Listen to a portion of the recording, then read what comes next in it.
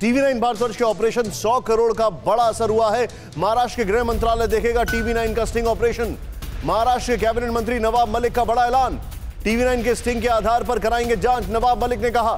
गंभीर आरोपों की जाँच के लिए कदम उठाएँगे, नवाब मलिक ने यह भी कहा।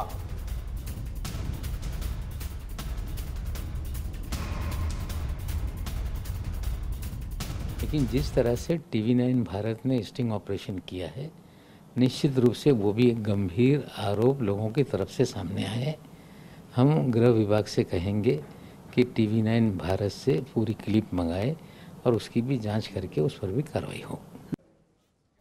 बड़ी खबर है अश्विनी मेरे साथ है। अश्विनी बड़ी खबर हमारी खबर का इंपैक्ट हुआ है। आगे इसका क्या असर देख रहे हैं आप? ये जो बोल रहे हैं कि हम स्टिंग ऑपरेशन को देखेंगे आ, ये सब समझेंगे क्या समझा जाए?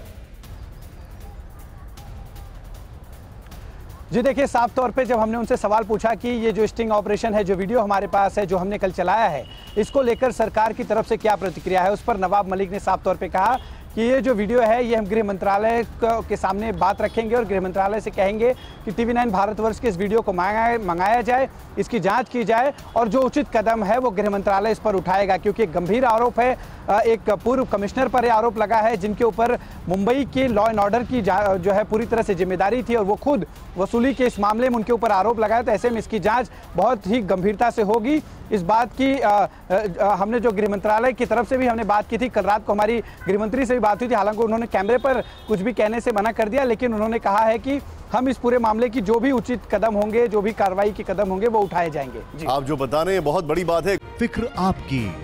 सोमवार से शुक्रवार रात नौ बजे सिर्फ़ टीवी नाइन भारत वर्ष पर।